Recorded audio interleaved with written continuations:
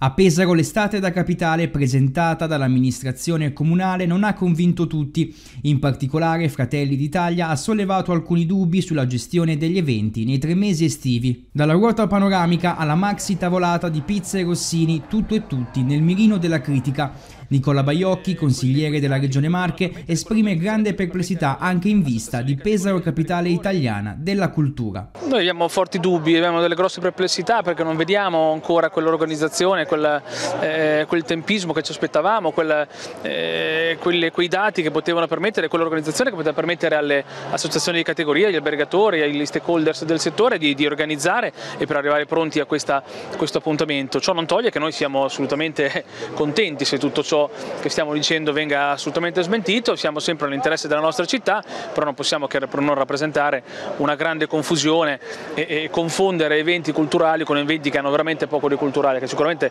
rappresentano la città per alcune tradizioni della città come la pizza Rossini, tantissime cose che non posso che essere assolutamente contrario, però non hanno nulla a che vedere con questa programmazione che pensiamo che debba avere sicuramente un, un livello culturale di, e di, di, struttura sicuramente molto diverso. Non, non riusciamo a cogliere ancora, anche perché c'è stato eh, oscurato diciamo, ogni, ogni, tentativo di cercare di sapere eh, cosa ci fosse dietro, perché io penso che nella, nella legittimità e nella, nei ruoli che hanno anche ogni singolo consigliere comunale di ottenere di, delle informazioni, dei dati, tutto ciò non ci è stato permesso, aspettiamo fiduciosi di avere delle notizie in merito, eh, sperando sempre che le cose per la città vadano bene, siamo veramente molto perplessi. Immediata la risposta del sindaco di Pesaro Matteo Ricci che ha parlato e difeso l'estate da capitale. In verità è stata un'estate